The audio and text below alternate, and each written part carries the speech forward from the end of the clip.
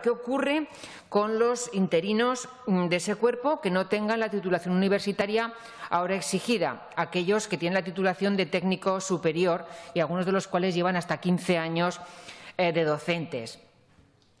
Porque si ya no se les permite presentarse a los procesos selectivos, que es la, vía para acceso a la, función pública, difícilmente podrán entrar o permanecer en esa lista de, interinos. Y esto es de lo que trata nuestra proposición no de ley, señorías, de resolver ese gran problema que ha creado la ley CELA a este, a este colectivo. Sí que queremos plantear qué ocurre con aquellas especialidades que no tienen titulaciones universitarias específicas, como puede ser eh, cocina, pastelería o soldadura o fabricación instalación de carpintería y muebles, entre otras. ¿Qué pasa con esas especialidades? actividades.